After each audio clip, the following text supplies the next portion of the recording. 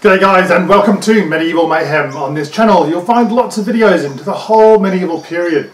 You'll find reviews into other people's gear, you'll find crafting videos into making your own costumes, you'll find DIY videos into making your own furniture, you'll find how-to videos into all sorts of medieval camping and that kind of thing. We do videos for, we analyse historical events, what happened, who were the key players, and why did things turn out the way that they did.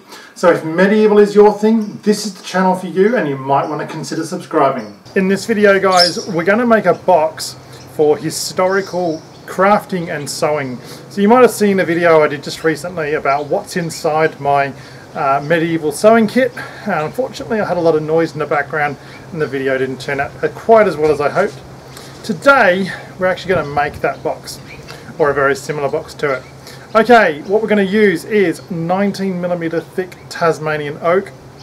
You'd be quite uh, suitable to use various types of pine or birch, or various other types of wood, maybe even poplar. Uh, but, but oak is a really good one and this is going to last me the rest of my life and that's what I'm really hoping for. Uh, the sides are 130 millimeters tall and we'll go through the rest of it from there. We're going to cut the width at 25 centimeters.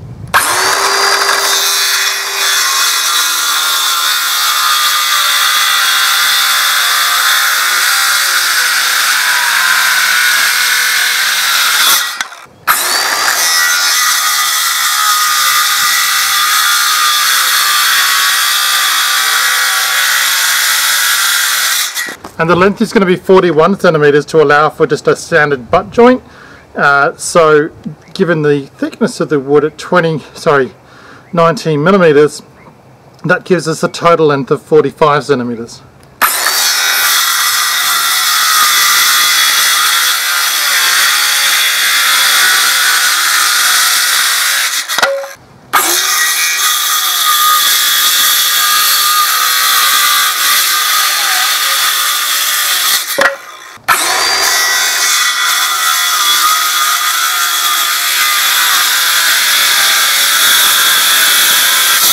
This is not a load bearing project so it doesn't require any kind of technical joints. I'm simply butt joining these two pieces of oak together using a standard, uh, I use Sikaflex brand white glue and I'm going to leave that to dry overnight. Uh, all things being equal that should be fine. Um, and that I've, I've never had that glue fail on me before so this will work out really, really well. This is not a load bearing project, so I'm not worried in the least uh, about the glue failing.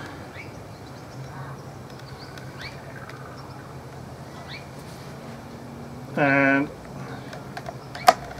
contrary to what a lot of contrary to what a lot of people think, you really don't actually need a lot of nails and screws and stuff for woodwork to be effective if you use a good quality glue. Now I'll see how that goes for drying off over the next couple of hours. I'm holding this joint in place. Uh, I realise these are not medieval nails. I wish I had access to them at the moment, but no one seems to have them in stock. Righty, I'm just going to use a jigsaw now to cut out.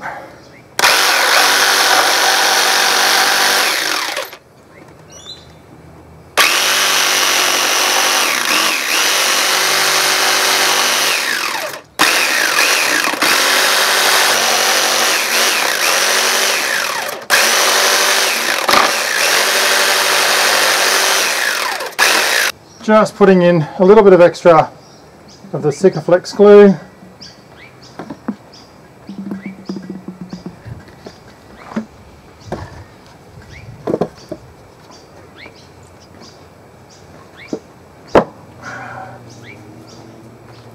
and then this just gets clamped into place. Uh, I'm just going to run a route around the outside now just to tidy it up.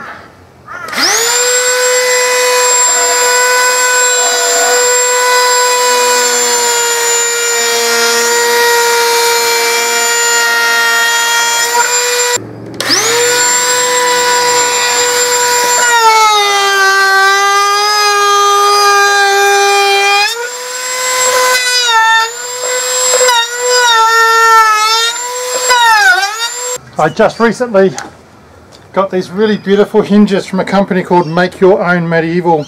Unfortunately, I cannot, for the love of money or God, get uh, hold of any good medieval type nails at the moment.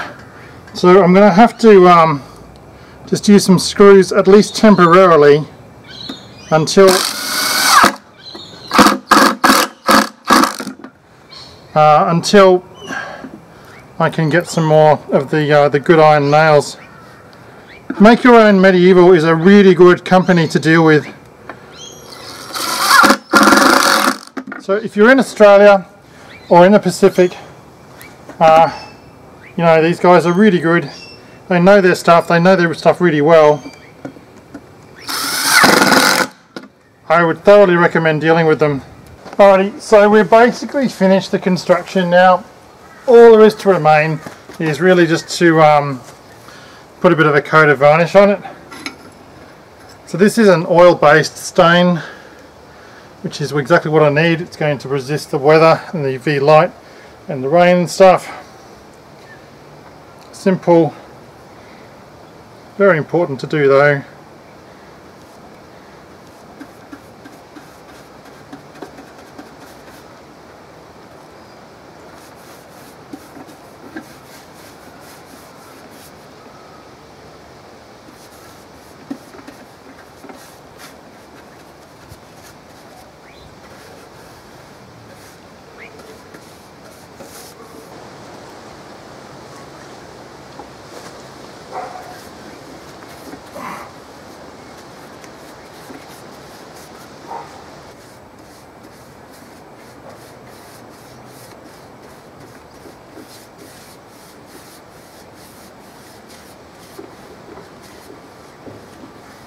Righty, just going to put a front latch on.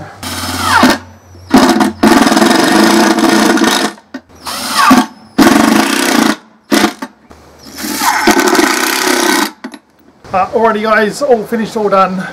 Another really great project to have got finished. Really happy with this, this has come out so well. It really is uh, a really great thing to have. Got a nice little divider inside it and uh, it'll keep all my crafting accessories all squared away for my tablet weaving and that kind of stuff and I think it's really important and it looks really really good. Very authentic kind of look and feel to it. Um, nice historical uh, hinges and stuff from um, make your own medieval so really excited about this and really happy to have got it done. Really hope you enjoyed today's video. Please like subscribe and share. I'll catch you in my next video